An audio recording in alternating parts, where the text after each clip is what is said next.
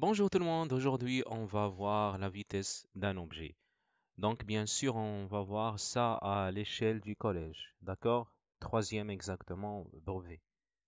On va voir la définition pour euh, ce niveau-là. La vitesse d'un objet.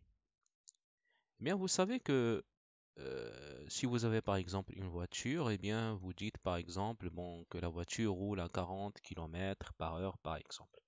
D'accord? Donc là, vous avez, vous avez une distance et là, vous avez un temps. Donc si je veux donner, par exemple, si je veux donner une définition, je vais dire que la vitesse d'un objet est la distance parcourue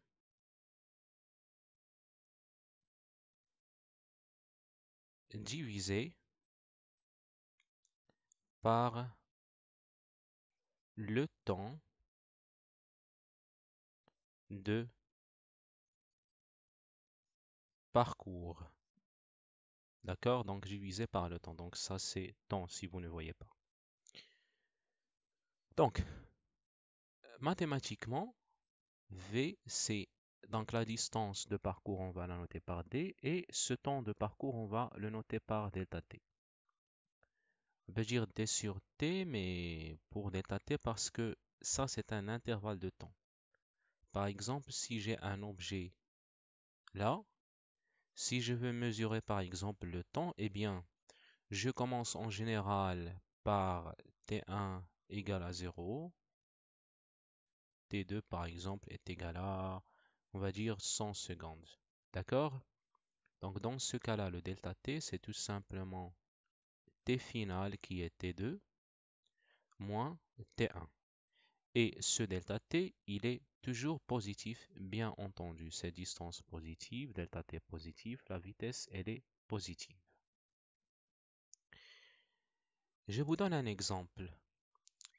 Imaginez que j'ai une voiture, par exemple. Donc j'ai une voiture qui a parcouru une distance qui vaut 6,5 km pendant un temps qui est égal à 7 minutes. Donc là, juste euh, une remarque. Quand je dis que V égale à D sur delta T, D c'est en mètres, D en mètres, et delta T c'est en secondes. Donc on utilise les unités internationales mais des fois, pour euh, ce cas-là, on peut vous dire de donner ça en kilomètres par heure. Donc, première, euh, donc pour cette question, donc je vais, donner d'abord la vitesse en mètres par seconde. Donc, dans ce cas-là, la vitesse, ça sera égal. Donc, ça, c'est la voiture. Donc, elle a parcouru cette distance qui est égale à 6,5 km pendant ce temps qui est égal à 7 minutes. Donc V c'est D sur delta T. Donc je vais avoir ici 6,5. Mais n'oubliez pas qu'il faut que l'unité internationale pour la distance, c'est le mètre.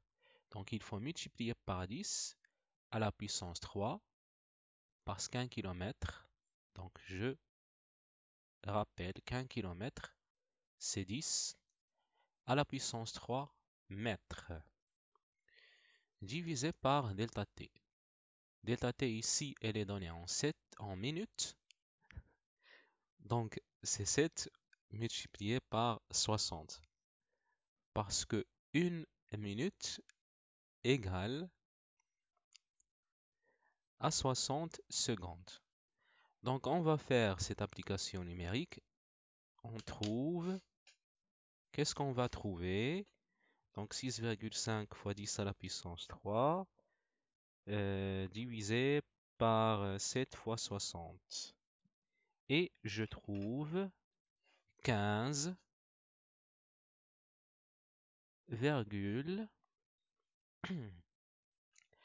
47 5, 15 15 c'est pas 15,47 donc je fais une majoration, donc je vous dis que c'est égal à peu près à 15,47. mètres par seconde. Si on vous demande maintenant de donner cette vitesse, donc ça c'est la vitesse ça, c'est exprimé en mètres par seconde. Si maintenant on vous demande de donner cette vitesse en kilomètres par heure, attention, il ne faut pas se précipiter convertir là, mais il suffit juste de voir ici. Ici, on vous donne que d égale à 6,5 km, mais delta t égale à 7 minutes. Donc il suffit juste de transformer ce delta t qui est en minutes là en heures.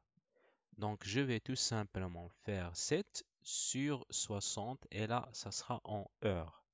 Parce que une heure c'est 60 minutes, ce qui veut dire que une minute c'est 1 sur 60 heures. Donc ce minute que vous avez là, donc j'ai ici 7 minutes. 7 minutes là, 7 minutes, c'est 1 sur 60. 1 sur 60 H, heure. Mais n'oubliez pas le 7. Donc c'est pour cette raison j'ai ici 7 sur 60 heures. D'accord? Donc laissez les choses tranquilles comme ça. Et si je veux V, ne faites pas l'application numérique ici pour, ne, pour avoir plus de précision. Donc, il faut faire l'application numérique directement.